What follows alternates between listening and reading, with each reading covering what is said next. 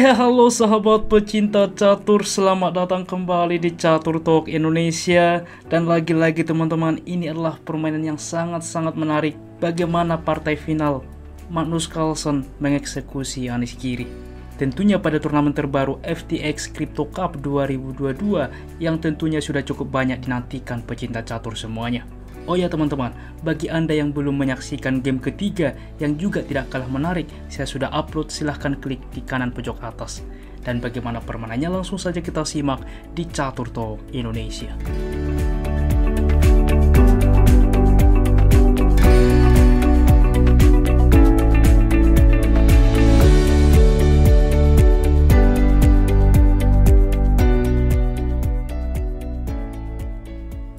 Baiklah teman-teman, di sini Manus Carlsen putih memulai langkah dengan pion ke D4, dibalas kuda ke F6 dan kuda ke F3, pion ke G6 dan gajah ke G5.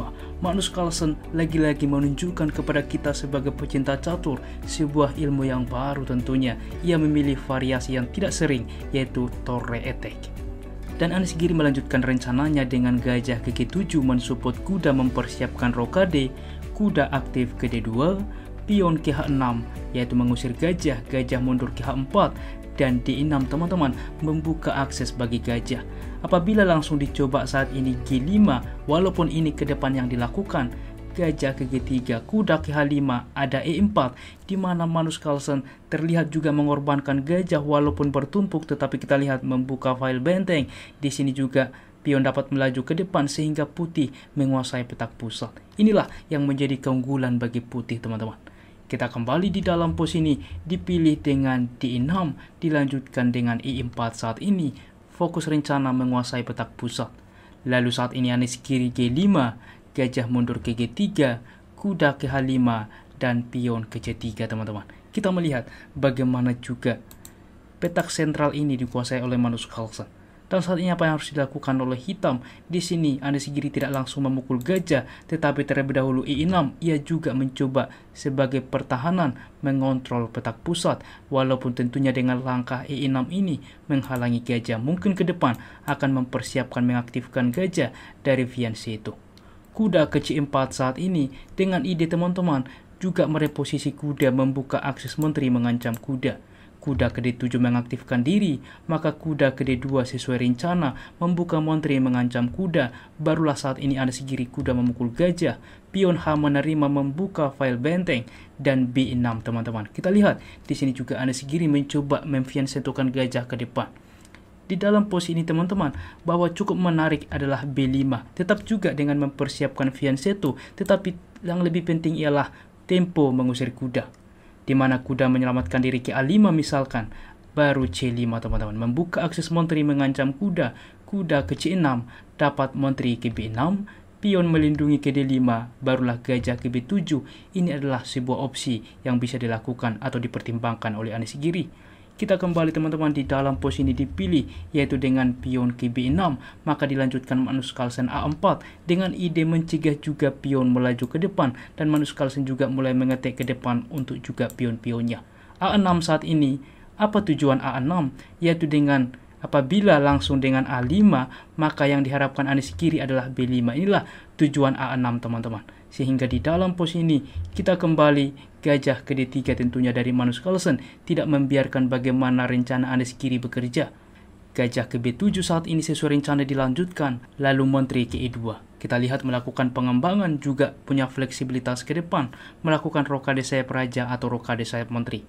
Menteri ke E7 juga dari Anies Giri dengan juga hal yang sama, memberikan kode ke depan, bisa opsi rokade sayap raja atau rokade sayap menteri. Magnus Carlsen membalas dengan kuda ke E3 di mana juga menambah tekanan terhadap pion hitam juga mencegah hitam rokade sayap menteri sehingga C5 dari Anes Giri. Karena apabila Anes Giri melakukan rokade sayap menteri jelas blunder karena gajah akan memukul pion. Apabila diterima pertukaran kita lihat menteri ini sangat-sangat berbahaya. Raja berpindah pion ke A5 juga membuka ke depan teman-teman dan ancaman skakmat beberapa langkah ke depan. Untuk itulah kita kembali dipilih oleh Anis Giri yaitu dengan pion ke C5. bagaimana Magnus Carlsen melanjutkan D5 teman-teman. Lihatlah cukup menarik di mana kuda ke F6 saat ini juga menambah tekanan terhadap pion lalu dilanjutkan F4. Lagi-lagi teman-teman menekan menteri ke C7 saat ini. Dengan ide seperti ini teman-teman mencegah kuda apabila saat ini pion memukul pion karena apa rencana dari hitam mengetek pion pusat.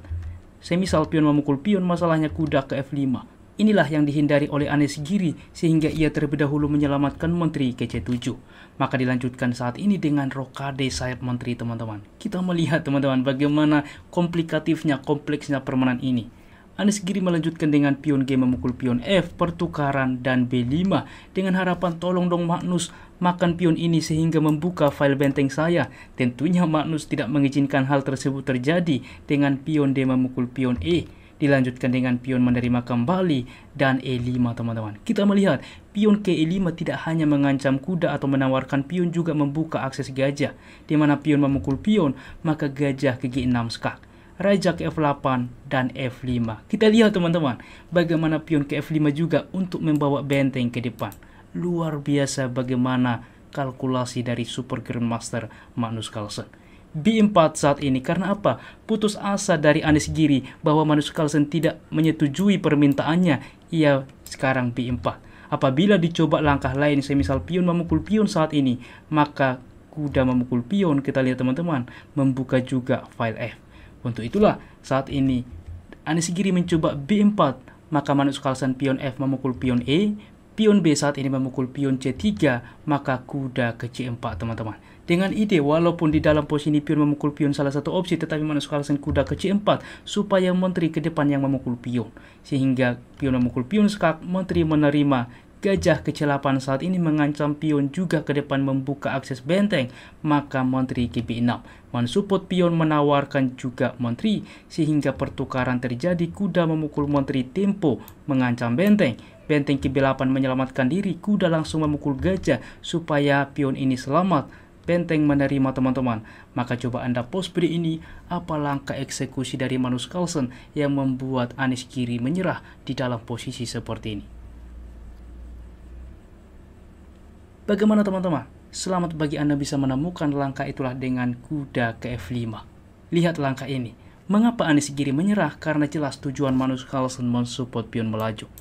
Jadi apa pun opsi dari hitam teman-teman, apabila tentunya dihentikan tentu kita lihat ini pun cukup berbahaya ke depan. Tetap akan melaju dan akan terjadi pertukaran kualitas dan bahkan gajah juga mengontrol peta ini. Sehingga A5 misalkan kita ambilkan sebagai gambaran masalahnya E7 skak. Ini yang terjadi. Raja ke G8 maka benteng ke D8 skak pertukaran terjadi, pion akan bangkit menjadi menteri kuda menutup dimakan saja, gajah menutup menteri ke F7 dan ini pun skakmat. Luar biasa teman-teman bagaimana performa yang dimainkan Manus Carlsen mengeksekusi Anis Kiri pada hari pertama FTX Crypto Cup 2022. Dan berikut adalah hasil ronde pertama dan juga standing teman-teman. Di mana Pragnananda mengalahkan Ali Reza Firauja, Magnus Carlsen mengeksekusi Anis Kiri Jan Christoph Duda mengalahkan Hans Neyman dan Levon Aronian mengalahkan Le Quang Lim. Sehingga standing adalah sebagai berikut. Magnus Carlsen memimpin permainan diikuti Jan Christoph Duda Pragnananda Levon Aronian lalu Le Quang Lim Anis Giri Hans Neyman dan Ali Reza Firauja dan adapun pairing untuk nanti malam adalah sebagai berikut Ali Reza bertemu dengan Le Quang Lim Jan Christoph Duda bertemu Levon Aronian, Manus Carlsen bertemu Hans Neyman, dan Pragnananda bertemu dengan Anis Giri. Lagi-lagi teman-teman tuliskan di kolom komentar siapa dukungan Anda, supportan Anda untuk menjuarai turnamen ini. Dan jika suka ulasan konten seperti ini, dukung kami dengan cara like, subscribe, dan juga share. Apabila ada saran ke depan, jangan ragu tuliskan di kolom komentar. Salam catur tua Indonesia, sampai jumpa di video berikutnya. Keep sharing and keep loving. Bye-bye.